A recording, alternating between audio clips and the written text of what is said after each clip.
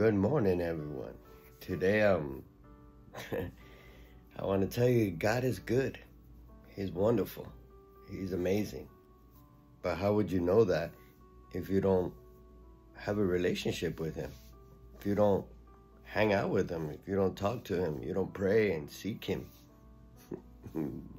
That's what God is saying. Psalms 37 4 says, Delight yourself in the Lord, and He will fulfill the desires of your heart.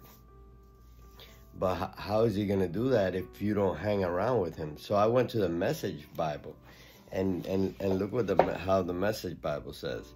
It says, "Get insurance with God and do good deeds. Settle down and stick to your last. Keep company with God. Get in on the best." You want the best? you want God in your life? Seek Him. Seek the Lord today. Amen.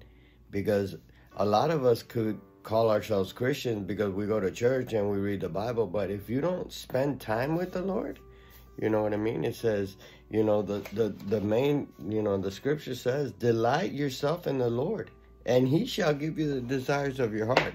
And it's not about the desires of your heart, it's about you hanging out with the Lord.